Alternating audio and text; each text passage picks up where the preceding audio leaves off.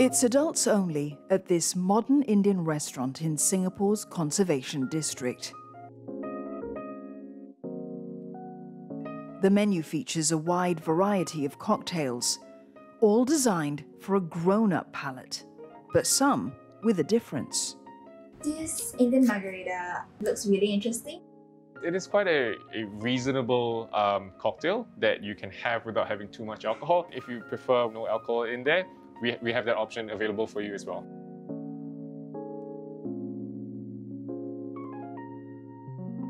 About 15% of our clientele opting for a zero proof or a low ABV cocktail. I would say that um, consistently has been increasing uh, throughout the years. It's a trend seen throughout the world. The market for non and low alcohol drinks was worth 3.1 billion US dollars last year. Sales of low alcohol wines, beers, and spirits rose by over 8%. Sales of the non alcohol versions did even better, rising by over 33%. We are seeing this across all demographics in Singapore. People are being more health conscious as a whole. Although they drink alcohol, but they're still conscious of the health impacts of drinking too much alcohol. So they switch to zero or low alcohol alternatives. COVID 19 restrictions also altered the drinking habits of Singaporeans. Under public health measures, alcohol at food and beverage outlets must be sold and consumed by 10:30 p.m.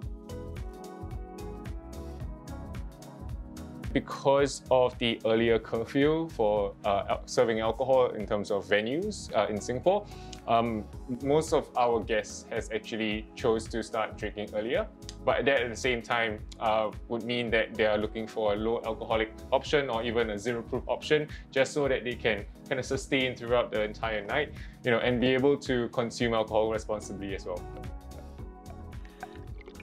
Many diners like to start their meal with an aperitif. Traditionally, this is an alcoholic drink taken before a meal to stimulate the appetite. But new market players have sprung up to satisfy the thirst for non alcoholic alternatives. What we've done is selected Asian botanicals, and so on the nose, you have, you know, a floral, fruity, goji berries, your hibiscus, your pomegranate, but when you drink it, you taste a lot more of the Asian spices and the warmth of the raw cacao, and it has a very elegant dry bitter finish, somewhat like a red wine. Melati calls itself Asia's first non-alcoholic aperitif. It costs 68 Singapore dollars, or about 50 US dollars, for a half litre bottle that's comparable or even more expensive than alcoholic spirits like gin and vodka. According to Wisecrack, a distributor of non alcohol drinks, there are reasons for this price premium. Right, so there's actually a lot more work there, so you have more ingredients that go in because you have to dissolve it in water rather than in alcohol. Most of them make smaller batches, so the cost for the producers are higher. Um, and also, I guess, just generally the size of the industry. Logistics are very costly these days. Alcohol is actually a really, really good uh, flavor carrier, but at the same time, it's another challenge that we, I would say I embrace um, to translate I would say similar levels of flavor profiles from a cocktail that is, you know, regular in uh, alcohol proof um, to a low or no uh, beverage option. According to Euromonitor, the growth of the non and low alcohol sector will be one of the leading post pandemic trends. It forecasts that the total consumption of alcoholic beverages in the Asia Pacific will fall by almost 5% by 2024.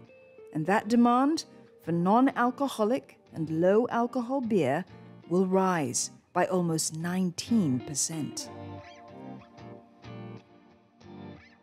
for non-alcohol beer, the taste shouldn't differ too much from the alcoholic version.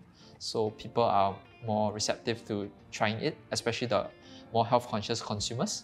However, for spirits, there, there's more, uh, spirits as a category is more dynamic and there is more opportunities to have different kinds of taste. No one ever gathers over a glass of water. You're always looking for a sophisticated drinking experience with more flavor, with good conversation, and the discovery of something new. That's why I think it's just the start for Singapore and this side of the world in Asia. Definitely people are going to be demanding more discerning drinks, more sophisticated drinking options, and we're here to provide for that.